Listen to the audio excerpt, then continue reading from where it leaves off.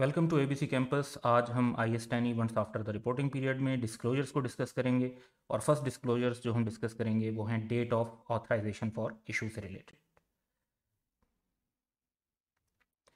तो रिक्वायरमेंट है I S ten की कि एक एंटिटी को डिस्क्लोज करना है, वो डेट जब फाइनेंशियल स्टेटमेंट ऑथराइज हुई for issue and who gave that authorization तो फॉर एग्जांपल हम कहते हैं कि जी फाइनेंशियल स्टेटमेंट ऑथराइज हुई twenty eight September two thousand twenty one को और ऑथराइजेशन दी बोर्ड ऑफ़ डायरेक्टर ने उनको अप्रूव किया और जो साइन है वो की है चीफ एग्जेक्टिव और वन डायरेक्टर ने। अब फर्दर इसमें जो रिक्वायरमेंट है वो एडिशनल एक ये रिक्वायरमेंट भी है कि अगर एंटिटी के ओनर और other have the power to amend the financial statement after issue the entity shall disclose that fact अब क्या पाकिस्तानी लॉ ये अलाउ करता है? पाकिस्तानी लॉ में जो टिपिकल कंपनीज़ हैं, उनके अंदर तो ये अलाउड नहीं है कंपनी लॉ में कि एंटिटी के ऑनर जो हैं फाइनेंशियल स्टेटमेंट्स को इशू के बाद उसकी अमेंडमेंट कर सकें या उसकी अल्ट्रेशन कर सकें। तो यहाँ पर ये फैक्ट जो है डिस्क्लोज नहीं किया जाता। लेकिन आई एस टेन में ये रिक्वायरमेंट इसलिए है क्योंकि इंटरनेशनल स्टैंडर्ड्स हैं तो इंटरनेशनल कम्युनिटी को देखते हुए और कंट्रीज़ को देखते हुए कुछ कंट्रीज़ में ऐसे लॉज हो सकते हैं जहाँ पे कंपनीज़ को अलाउड हो कि वो अमेंडमेंट कर सकें आफ्टर इशू भी तो वहाँ पर फिर वो एंटिटीज़ जो हैं और कंपनीज़ हैं, वो ये फैक्ट डिस्क्लोज करेंगी। फर्दर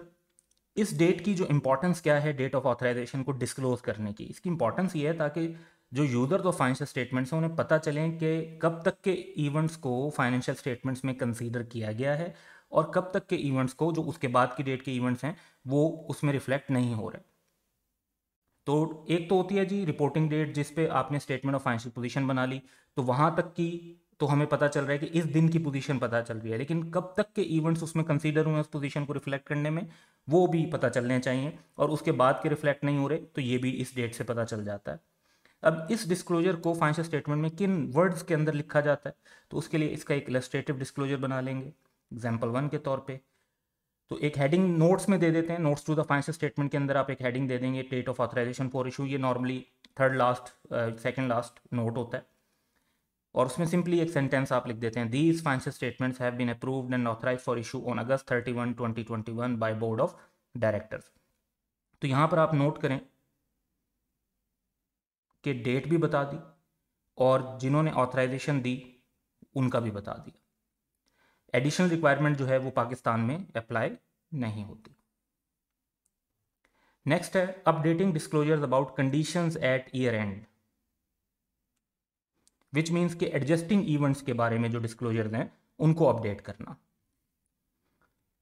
तो रिक्वायरमेंट इसमें क्या है? If an entity receive information after the reporting period about condition that existed at the end of the reporting period यानी adjusting event it shall update disclosures that relate to those conditions in the light of new information. अब even when the amounts recognize in financial statements are not affected बाजूकात ऐसा होता है कि ऐसी information receive होती है जो ईयर एंड से रिलेट कर रही होती है, लेकिन उससे अमाउंट्स जो हैं, वो अफेक्ट नहीं हो रही होती, जो रिकग्नाइज्ड अमाउंट्स हैं So entity, an entity may need to update the disclosures even when the information does not affect the amount that it recognizes in its financial statement. इसकी एक एग्जांपल ये है कि कंटीजेंट लाइबिलिटीज़ होती हैं जिन्हें हम एज ए लाइबिलिटी रिकॉर्ड नहीं करते बल्कि उनको सिर्फ़ डिस्क्लोज किया जाता है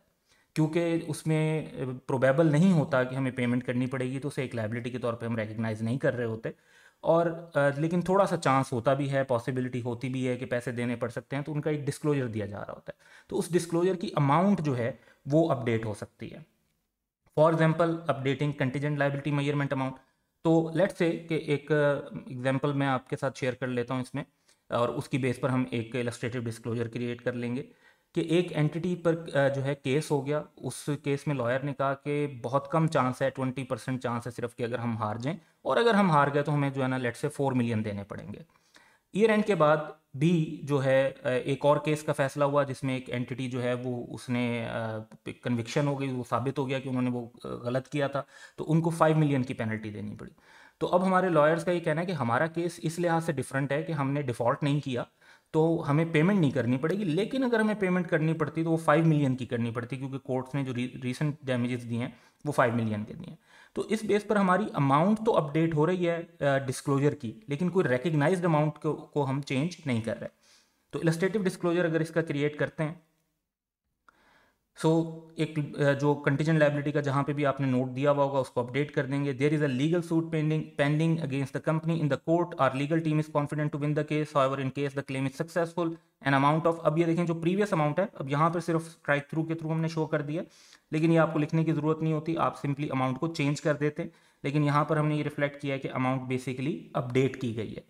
तो rupees five million is estimated to be paid तो आप अपने डिस्क्लोजर्स को अपडेट कर देते हैं, चाहे उन डिस्क्लोजर्स के अपडेशन का ताल्लुक किसी रिकग्नाइज्ड अमाउंट से ना हो। लेकिन याद रखना है कि उन्हीं चीज़ों को आप डिस्क्लोज डिस्क्लोजर्स को अपडेट कर रहे होंगे जो ईयर एंड पर चीज़ें एग्जिस्ट करती थी, यानी एडजस्टिंग इवेंट से रिलेटेड नेक्स्ट है मटीरियल नॉन एडजस्टिंग इवेंट जो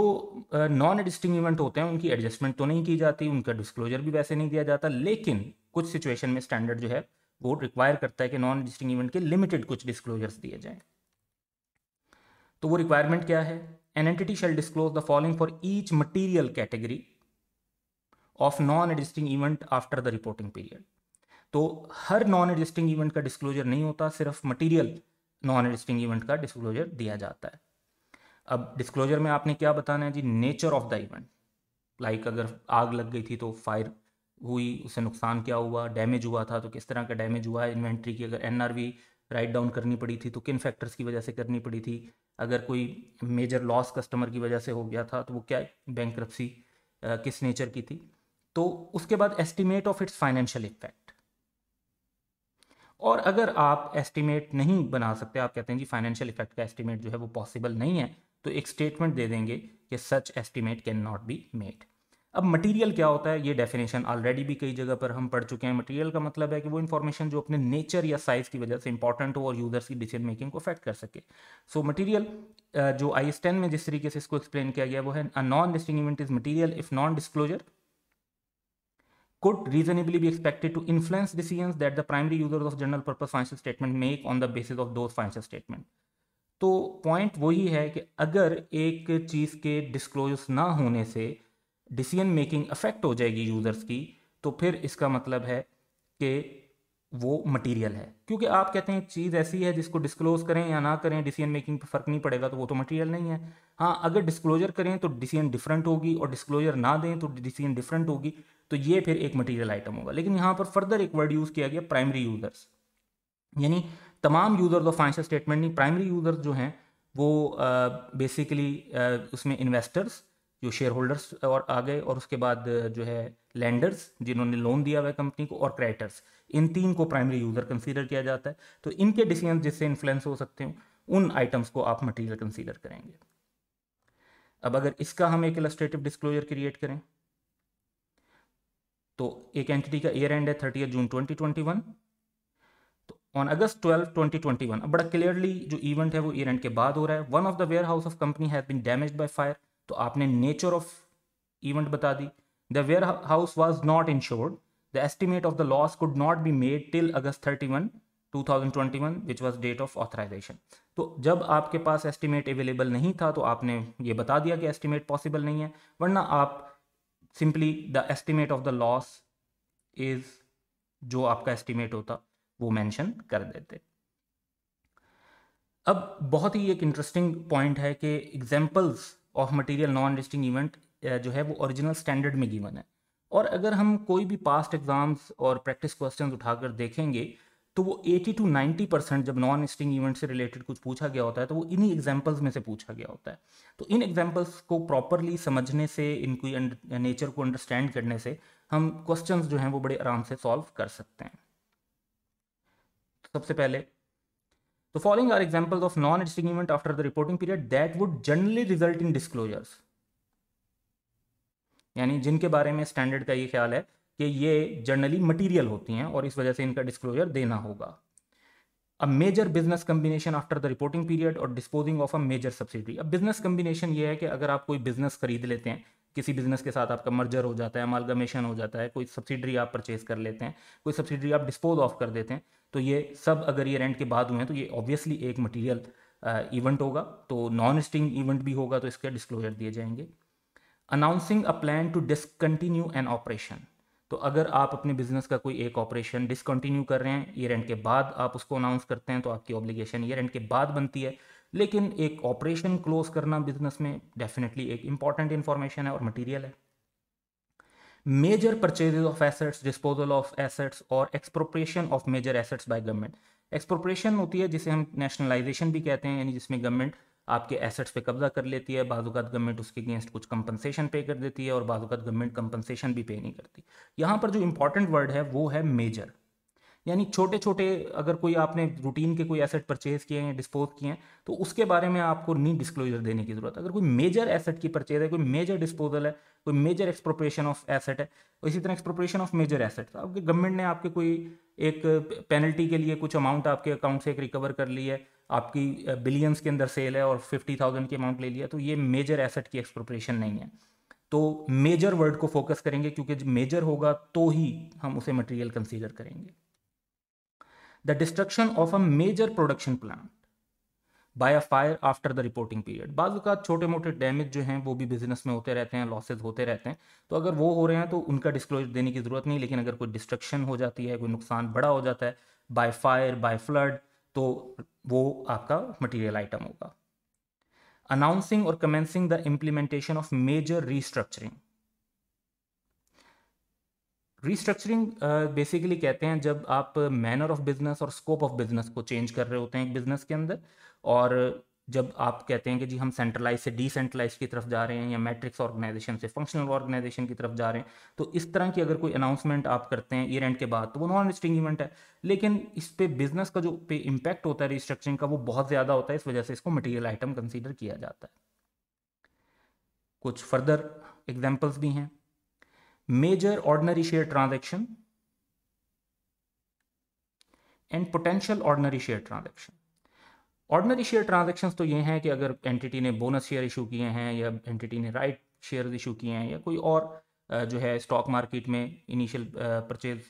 आईपीओ वगैरह इशू कर दिए और पोटेंशियल ऑर्डनरी शेयर होता है कि अगर एक कंपनी ने शेयर ऑप्शन इशू किए हैं या कन्वर्टेबल डिबेंचर यानी ऐसे डिबेंचर जो कन्वर्ट होकर शेयर्स बन जाएँगे फ्यूचर में तो ये रेलिवेंट होते हैं शेयर होल्डर्स की अंडरस्टैंडिंग के लिए। शेयर होल्डर्स के लिए शेयर से रिलेटेड ट्रांजेक्शन ऑब्वियसली इंपॉर्टेंट होती हैं, उनकी डिसीज़न को इन्फ्लुएंस करती हैं और इनको मटेरियल कंसीडर किया जाता है। इसी तरीके से abnormally large changes after the reporting period in asset prices और फॉरेन एक्सचेंज रेट्स तो अगर फॉरेन एक्सचेंज के रेट ईयर एंड के बाद चेंज होते हैं तो वो ईयर एंड पर तो चेंज नहीं हुआ था ना। ईयर एंड के बाद चेंज होता है और आपको उसकी वजह से ह्यूज गेन आ जाता है या ह्यूज लॉस हो जाता है। दोनों चीज़ें फेवरेबल हो या अनफेवरेबल हो वो नॉन एडिस्टिंग इवेंट है। लेकिन अगर अमाउंट इतनी ज़्यादा है कि वो मटीरियल है तो फिर उसका डिस्क्लोजर दिया जाएगा लेकिन नॉन एडिस्टिंग इवेंट वाला disclosure changes in tax rates, tax laws enacted or announced the reporting period that have a significant effect on current and deferred tax asset and liability. तो sometimes ये होता है कि year end के बाद government जो है कोई टैक्स का बेनिफिट दे देती है या टैक्स जो है वो इंक्रीज कर देती है तो चाहे वो प्रीवियस ईयर से रिलेटेड टैक्स रेट्स और टैक्स लॉज को जो है चेंज कर दिया जाए ईयर एंड के बाद अगर अनाउंस हुआ है तो याद रखें कि वो ईयर एंड पर तो आपकी ऑब्लिगेशन नहीं थी ईयर एंड पर तो वो सिचुएशन नहीं थी तो ये नॉन एडिस्टिंग इवेंट होगा, लेकिन अगर उसका सिग्निफिकेंट इफ़ेक्ट हो तो उसको हम material non adjusting event consider करेंगे, फिर उसकी नेचर और फाइनेंशियल इफ़ेक्ट हमें डिस्क्लोज करना होगा entering into significant commitments commitments like हम किसी के साथ ये कमिटमेंट कर लेते हैं कि हम उससे एसेट इंपोर्ट करेंगे, या कमिटमेंट कर लेते हैं कि हम उसे इन्वेंट्री सेल करेंगे, या कंटिजेंट लाइबिलिटीज़ जैसे हम लिटिगेशन एक चल रही है तो हम कहते हैं कि जी, उसमें यह कोर्ट में केस हो गया, जो ईयर एंड के बाद के इवेंट से रिलेट करता है और उसमें ह्यूज अमाउंट पे करनी पड़ सकती है, और अगर वो ह्यूज अमाउंट पे करनी पड़ी तो हमारे बिज़नेस के लिए काफ़ी मटेरियल अमाउंट है। तो इसी तरह कोई सिग्निफिकेंट गारंटी इशू कर दी हमने किसी अपनी सब्सिडरी के लिए या अपने किसी काम के लिए तो ये सारी चीज़ें अगर once again word significant is important here क्योंकि सिग्निफिकेंट ये ज़ाहिर कर रहा है कि ये एक मटीरियल आइटम है।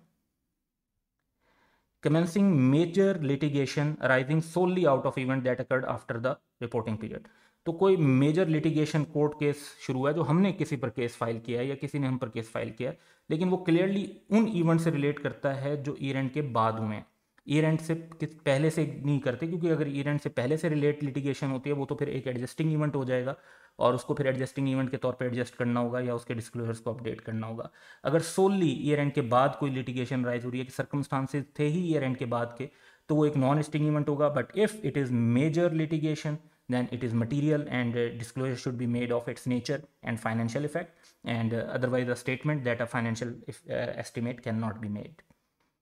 तो डिस्क्लोजर्स के ये टोटल पॉइंट थे।